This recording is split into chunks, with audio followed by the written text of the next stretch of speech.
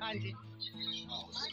चने हैं बाज़ार के और ये अंडे हैं और ये पालक है और ये थोड़े मसर है। रात को मैंने जब बिरयानी बनाई थी ना, ये चाय की तैयारी से कर दी थी। रात को मैंने बिरयानी बनाई, मसाले नहीं बनाया था तो ये पड़ा हुआ अब इसे मैं गर्म करने लगी हूँ।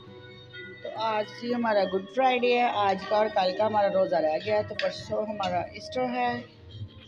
तो आज फिर शॉपिंग करने जाना है क्योंकि कल जाएँगे तो और भी ज़्यादा रश हो जाता है ईद से एक दिन पहले।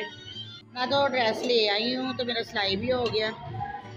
तो बच्चों के कुछ कपड़े आ गए कैरल के लाने फिर आप लोगों के साथ अगर उधर वीडियो बन पाई मुझसे तो बना लूँगी। मिक्सिंग हुई है पापा कर रहे हैं मिक्सिंग कैरल की है सिर्फ़ कैरल की है हमारी नहीं चलो जी घी गर्म हो गया अंदर डाल दो इतना मिला दिया। हम्म? अब बोलेंगे नहीं पापा। पापा को वीडियो में बोलना पसंद नहीं है। सादा अंडा बनाना सिखा रहे अच्छा बनाते हैं इसलिए सिखा रही हूँ। गुस्सा आ रहा है। साइड चेंज करूँ? अभी नहीं ये देखिए कितना अच्छे से कुकू हुआ अंडा वाह सुपर ज़बरदस्त। कैरेज के अंदर ये जी पराठा भी बन गया और चाय भी उबलने लगी है। है जी मेरा नाश्ता। कैरल कह रही है बैग मुझे दे दो कैरल इसमें मिर्ची आपने अपना खा लिया है? और गंदे बच्चे। अच्छा मिर्ची निकाल लेने दो। इधर जी हम बाज़ार के लिए निकलने लगे हैं तो कैरल भी रेडी और मैं भी। अलीजे अलीजे इधर देखो। बाय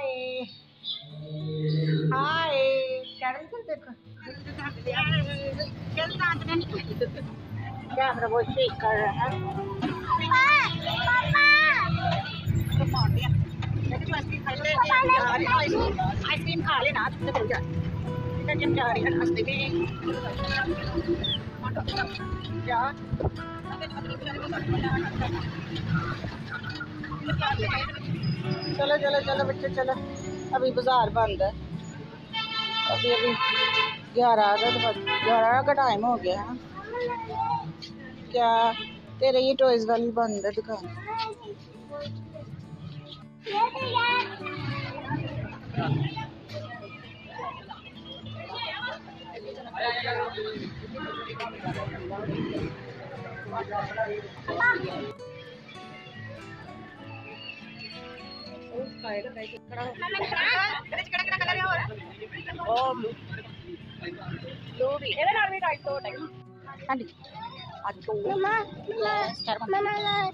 क्या? कोई बात नहीं साइड साइड पे। मम्मा नीचे। क्या? अच्छा ले रहे हैं वो आगे से ले चीज़ें ले आए फिर ओके। क्या? कैरल टॉयज मांग रही है। कैरल टॉयज लेना। टॉयज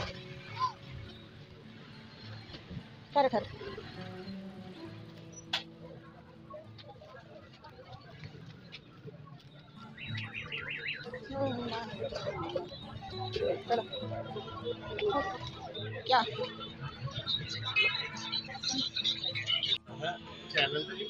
हाँ जी। हाँ ये दे दो।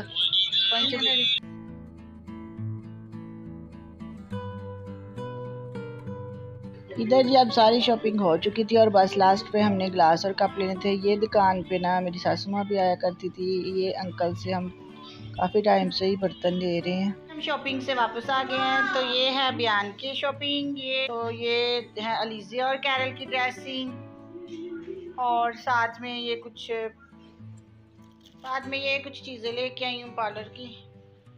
पहले ही मैं ले आए थे, सिलाई करवा लिया जी। बनाना नहीं है, अभी परसों पहनेंगे स्टेट पे। ये ये जो अभी प्रेस हो रहा है, छोटी सिस्टर का।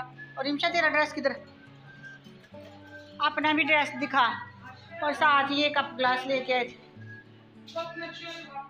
ये कप लेके आए थे। ग्लास पता नहीं अब किधर है चाय के ड्रेस और ये निर्णय की प्रेस हो के आगे कि ये पीछे है। और एक इसके पीछे है। ये लॉन के ड्रेस है। जी शॉपिंग करने के बाद मैंने फेशियल किया। मेरी मामी का फेशियल करने आई थी और अब मैं आज रिमशा में नंद ने रोज़ा रखा है तो वो तीन बजे हमारा आज ये जुमे का रोज़ा ना, आज हमारा गुड फ्राइडे है।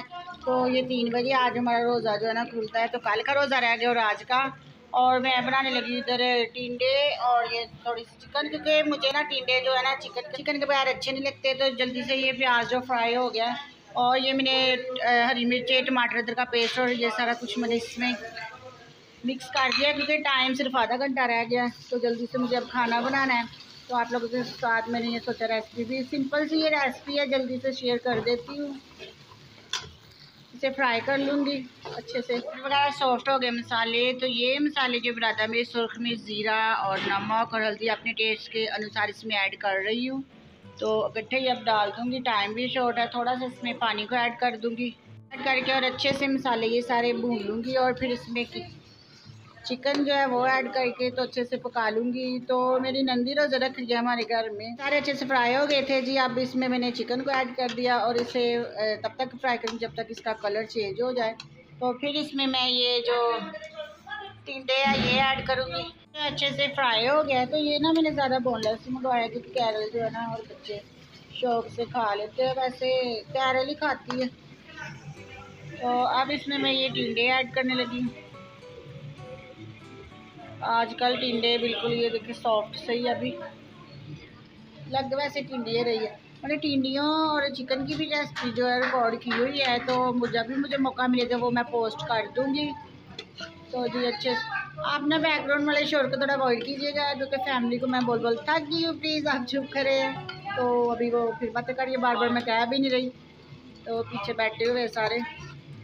तो जिसे अच्छे से मिक्स करेंगे और इसमें एक कटोरी जो पानी ऐड कर देंगे तो फिर इसके बाद ये रेडी हो जाएगी और साथ ही ये मैंने आटा निकाल लिया। अभी मैं रोटियाँ बना लूँगी क्योंकि टाइम बहुत कम है। देखिए जी, ये हमारे टिंडे बन गए हैं तो मैंने ऑफ़ कैमरा ही सारे पका लिए थे, अच्छे से मैंने ये ब्लेंड कर लिया अब इसमें मैं ये धनिया गार्निश करूँगी गल चुके हैं। तो रोटियाँ भी मेरी बन रही है इधर। पाँच मिनट रह गए तीन बजने में तो रोज़ा खोलने लगे हैं। मैंने रखना था और मुझे एक इशू हो गया तो उस इशू में प्रॉब्लम में मैं रोज़ा नहीं रख पाई, वरना मैंने आज रोज़ा रखना था। धनिया गार्निश करती हूँ। जी, धनिया भी गार्निश हो गया, कितनी अच्छी इसकी लुक है, और अभी खाना दोपहर का हम खाते हैं। तो मेरा ख्याल है आज के ब्लॉग को मैं इधर ही ख़त्म करती हूँ एंड करती हूँ, क्योंकि ब्लॉग ऑलरेडी आई थिंक लंबा आ गया तो आई होप आप लोगों को आज का ये ब्लॉग पसंद आएगा और ये वेरी सिंपल सी देसी इजी रेसिपी भी पसंद आई। अगर पसंद आए तो प्लीज़ वीडियो को लाइक शेयर और एक प्यारा सा कमेंट कर दे। मिलते हैं अपनी नेक्स्ट वीडियो में। तब तक के लिए बाय बाय